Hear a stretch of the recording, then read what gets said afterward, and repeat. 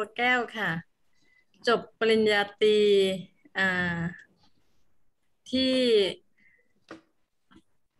มหาลัยราชภัฏสวนสุนันทาค่ะ คณะวิทยาการจัดการ แล้วก็มาเรียนที่นี่สองหลักสูตรที่ผ่านมานะคะ แล้วก็ตั้งใจเรียนสถาบันวิชารามเจ็ดปี ตั้งใจเรียนถามว่าเรียนทำไม อยากได้ความรู้ อยากเอานำความรู้เนี่ยมาเผยแพร่ ราะว่าเอาอย่างน้อยๆก็มาดูแลญาติพี่น้อง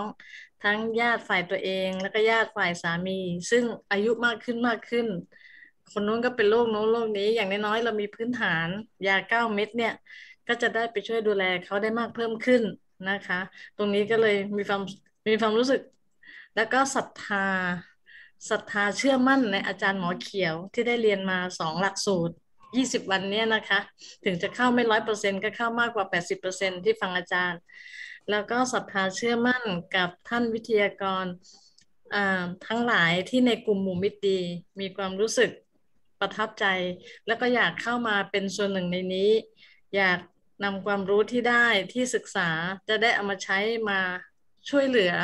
คนส่วนรวมที่สามารถช่วยได้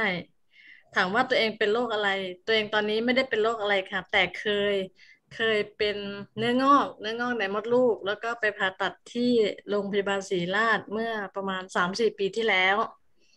ก็ก็ตอนนี้ก็ก็ไม่มีอะไรแล้วก็ปกติค่ะ ตอนนี้อายุห้าสิบหกปีค่ะ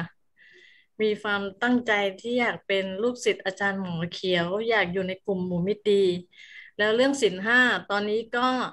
รักษาศีลห้าอยู่ค่ะสวดมนต์ทุกคืน ก็อารัธนาศีลห้ารักษาศีลห้าต่อองค์พระรัตนตรัยรักษาศีลห้ามาก็นานแล้วค่ะ ก็ตั้งใจรักษาให้ละเอียดมากขึ้น ยิ่งได้มาฟังอาจารย์หมอเขียว ยิ่งมีความรู้สึกว่าศีลเนี่ยอริยศีลเนี่ยศักดิ์สิทธิ์ แล้วก็ช่วยเราได้ช่วยทำให้จิตใจเราผ่องแผ้วสูงขึ้น ช่วยทำให้พื้นฐานชีวิตเราเป็นคนดีมากขึ้น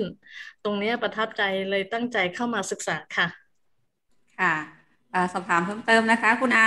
อายุเท่าไหร่นะคะห้าสิบหกค่ะห้าสิบหกปี ปัจจุบันอาชีพอะไรคะอ่าเออพนักงานรัฐวิสาหกิจค่ะ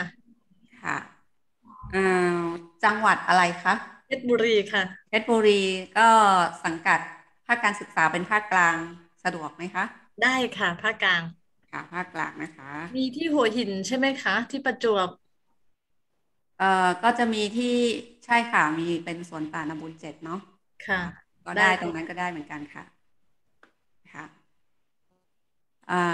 มีพี่น้องท่านใดจะสอบถามเพิ่มเติมไหมคะ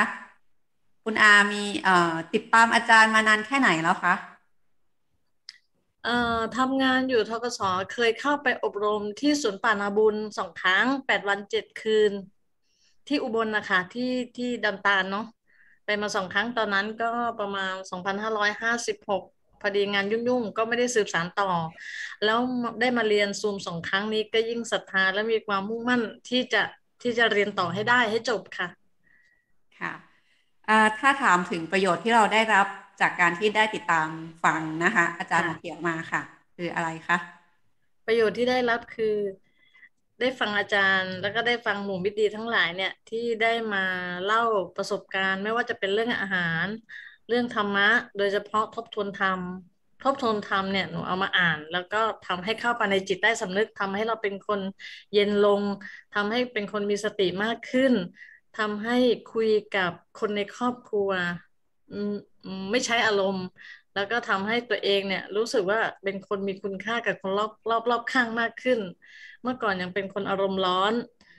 ชอบตรงที่อาจารย์บอกว่า ที่อาจารย์บอกว่าอะไรนะใจเย็นข้ามชาติค่ะ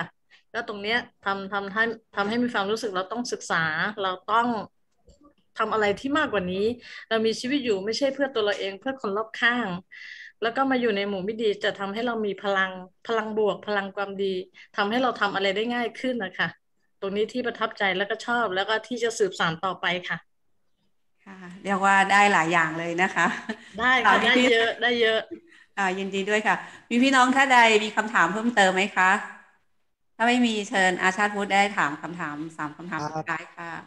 คุณอาจะรักษาศีลห้าเบื้องต้นได้ไหมครับ ได้ค่ะ ยินดีค่ะ แล้วก็รักษาอยู่ค่ะ แล้วก็ตั้งใจไม่ให้พร่องค่ะ แล้วก็จะรับฟังและทำตามมติหมู่มิตรดีได้ไหมครับ ได้ค่ะ เต็มใจตั้งใจค่ะ ครับ แล้วจะเป็นจิตอาสาทำงานฟรีได้ไหมครับ ได้ค่ะ เต็มใจค่ะ ครับผมขอบคุณครับ ค่ะ มีท่านใดคัดค้านการสมัครของคุณอาดาวรุ่งไหมคะ ถ้ามีก็สามารถยกมือได้ค่ะอ่าไม่มีนะคะ ที่ยกมือคือจองคิวสอบสัมภาษณ์นะคะ ค่ะสอบสัมภาษณ์อ่าสมัครเข้าเรียนสอบอ่าผ่านแล้วนะคะ คุณอาดาวรุ่งยินดีด้วยค่ะค่ะสาธุค่ะขอบคุณค่ะ ครับ ผมยินดีต้อนรับนะครับ คุณอาขอบคุณค่ะสาธุค่ะสาธุค่ะค่ะต่อไปคิวต่อไปนะคะ เป็นลำดับต่อไป